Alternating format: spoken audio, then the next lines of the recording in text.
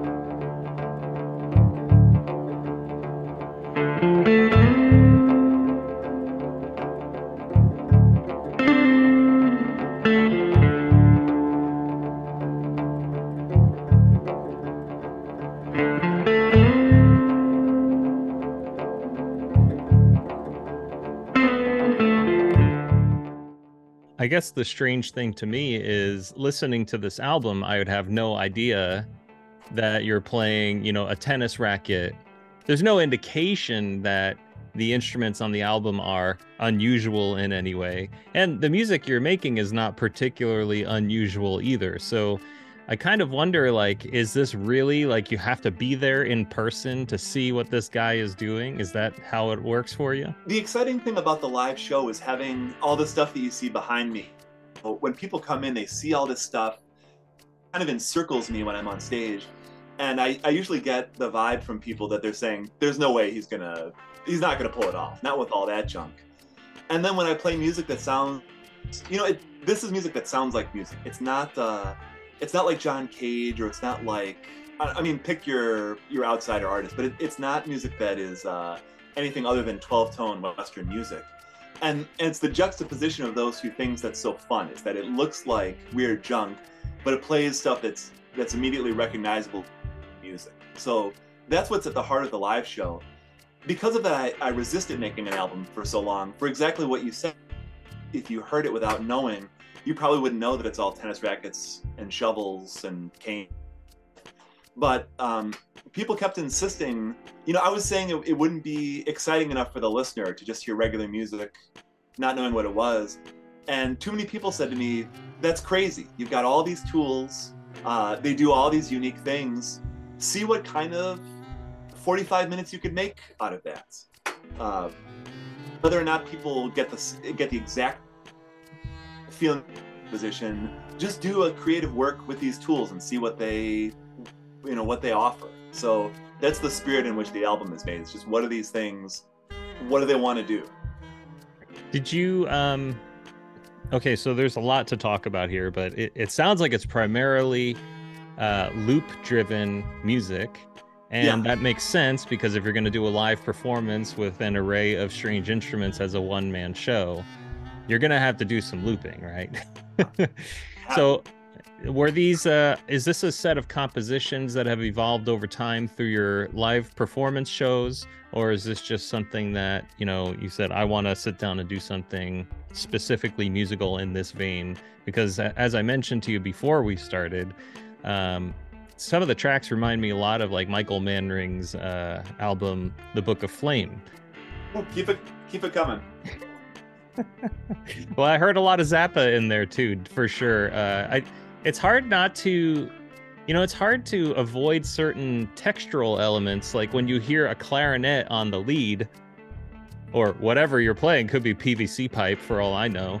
Um, it's hard to avoid like Paul McCandless, you know, hearing him on the Book of Flame or hearing uh like on Hot Rats, you know, the the Frank Zappa album with a bunch of saxophones and clarinets and there was that era where Frank was really into those woodwind instruments as leads and harmony uh instruments. So, you know, it's hard to know am I influenced by the sound of the the combination of instruments, you know, guitar, bass and uh clarinet?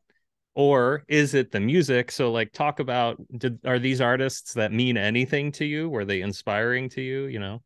Yeah to uh to talk to you for so long is is because i know your audience takes those things as a given whereas with other audiences i've got to spend a lot of time explaining who paul mccandless is before we get to the point so i know your audience knows who are and and all those people were really um uh, part of my heavy listening when I was like, I don't know, basically a teenager. So, so Book of Flame, definitely. I, I loved Michael Manring, especially Book of Flame, because that album um, was more musical than the other one. You know, I think it stood more as a piece that you could put on start to finish. So I used to put that on my on my Discman and go like walk around in the woods. You know, that was it was great to just like kind of disappear into that way.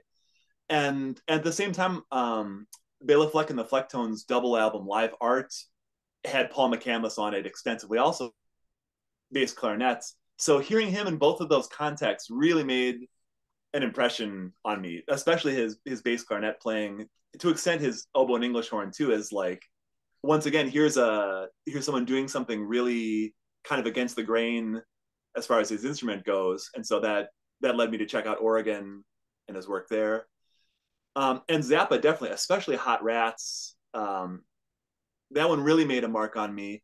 I, I, part of the problem with Zappa is that there's there's so much of it that uh, you got to kind of like pick your pick your touchstones. So uh, Hot Rats was was one of them. Um, there's an album called Just Another Band from LA that the whole A side is is this uh, kind of audio teleplay. Billy was a mountain.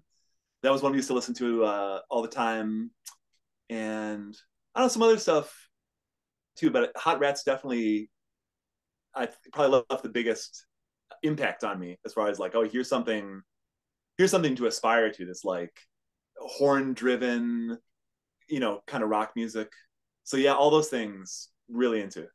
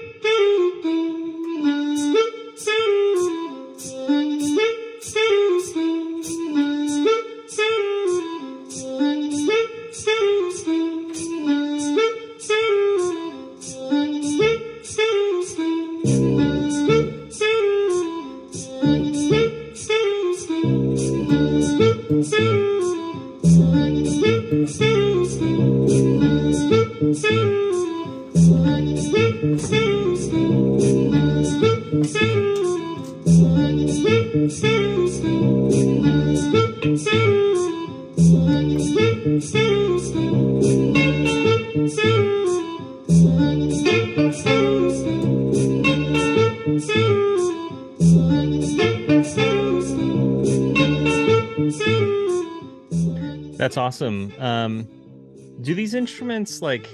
Uh, have you had other maybe guitarists or bassists, woodwind players, you know, pick up these instruments and they're like, oh yeah, this is just like totally familiar or you know what is it like i, I don't think you can have an objective perspective here because uh, my guess is this is a majority of what you've been playing for the last several years but like this is your norm what do people say when they step out of their norm and into your world and try your instruments out most of them are not tuned outrageously so usually people can get comfortable on them pretty quick so i, I played a gig in december where while I was setting up, a guy who was a bass player asked a um, the suitcase bass.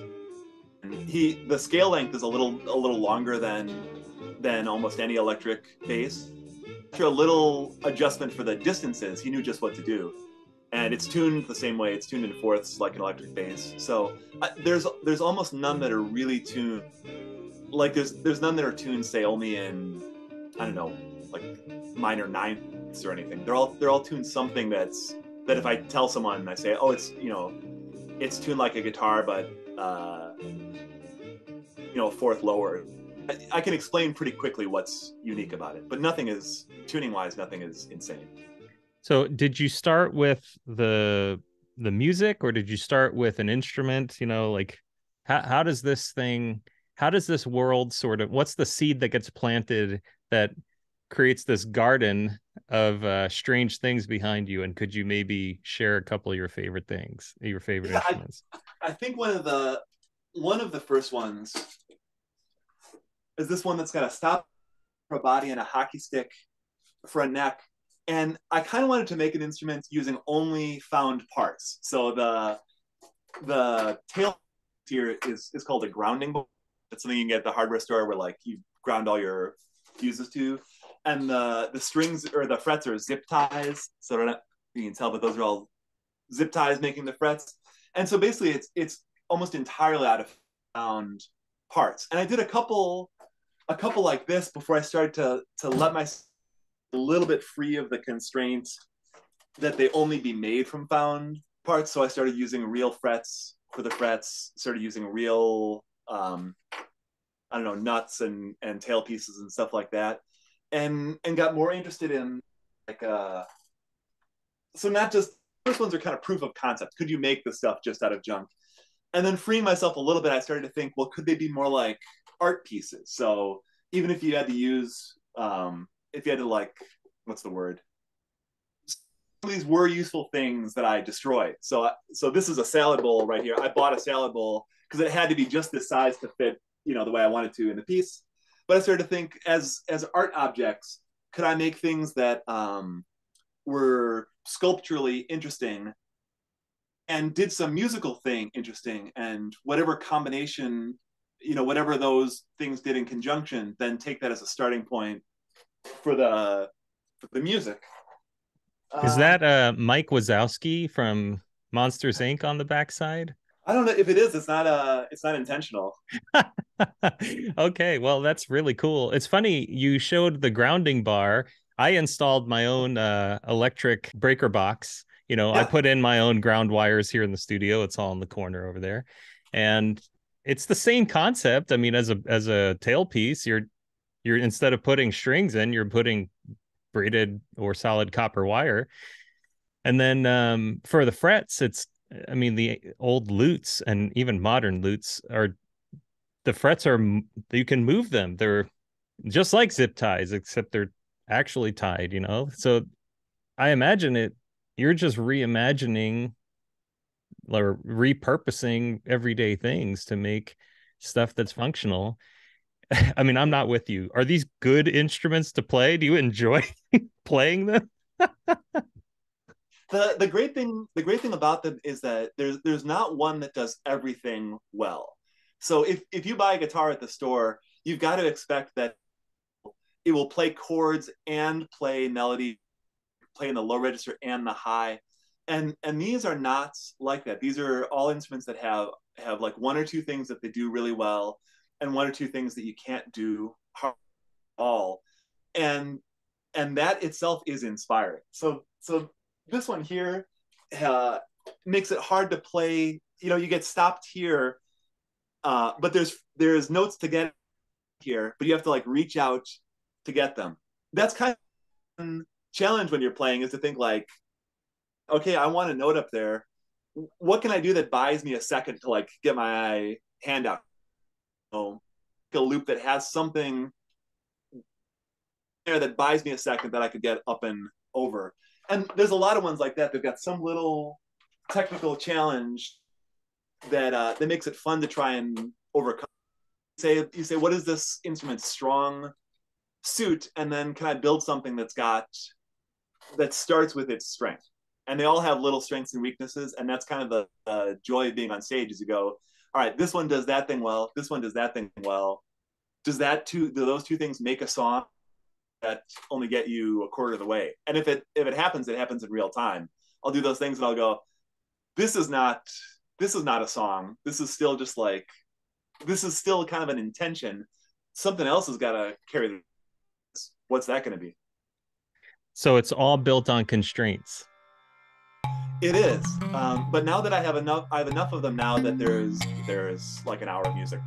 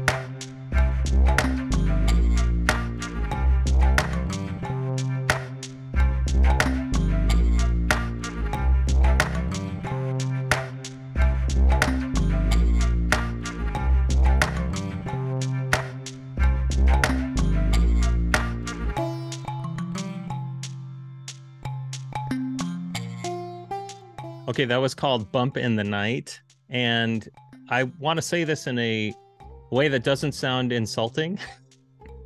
it's not a backhanded compliment. I can't believe how good these instruments sound. Like, this is a great sounding recording.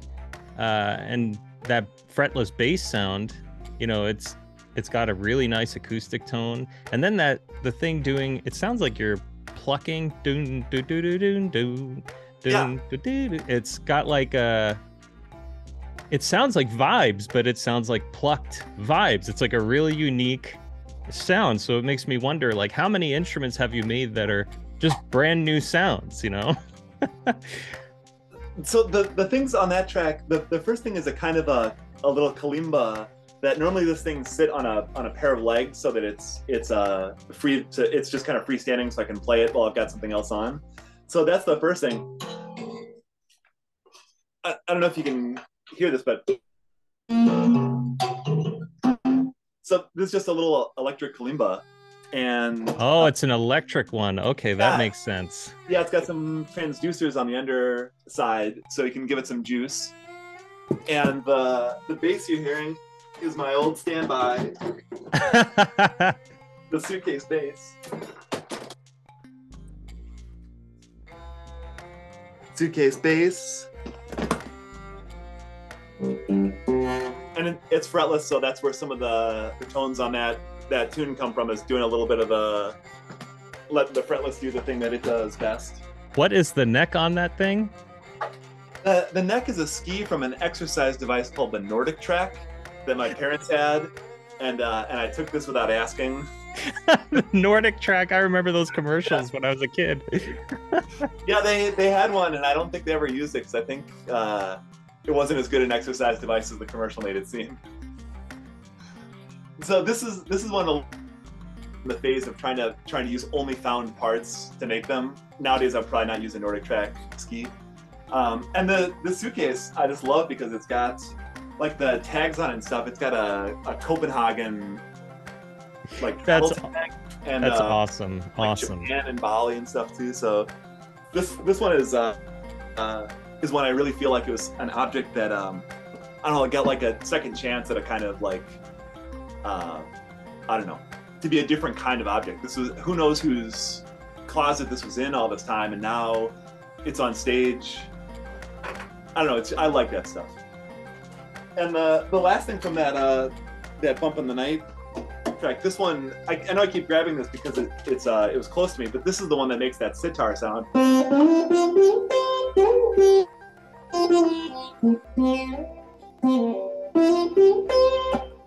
And and that's due to the the fact that I that I made a kind of a sitar shaped bridge for it. So that's not electronics that's making that sound. That's the acoustic sound of it is is uh is sitar because it has a sitar style bridge, or at least as, as close to one as I can make. It sounds like it's fretless, but it has a banjo neck on it.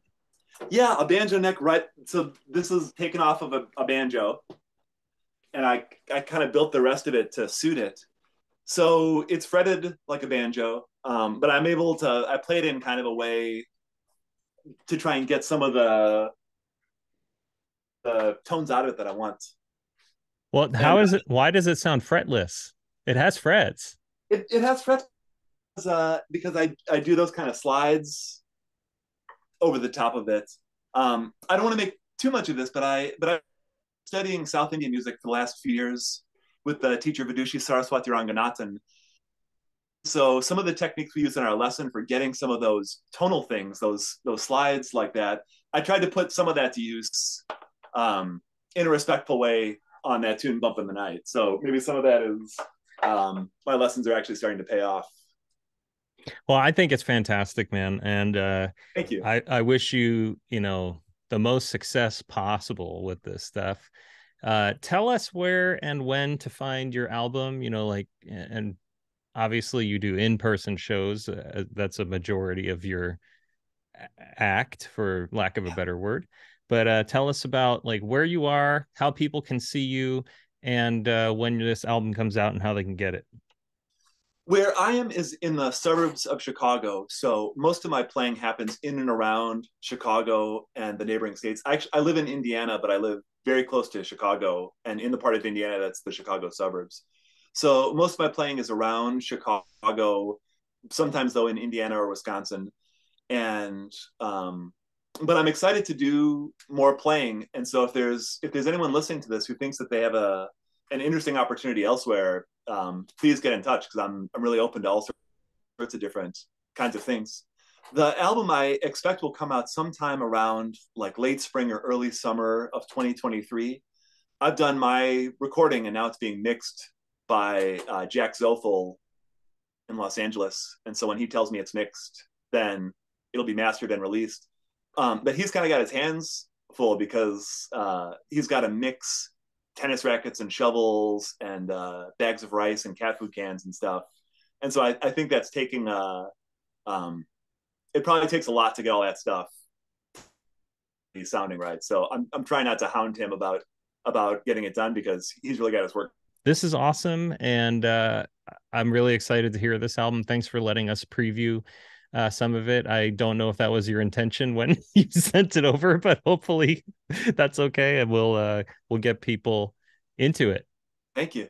And so now that I've been a guest on the show, do I get added to the group chat with Manring and Steve Vai? And... yeah. cool. Just, yeah. Whenever you're ready, just add me in. And, yeah, uh... no problem. Look for the invite. All right. Thanks a lot, Joe. Thanks so much. I appreciate it.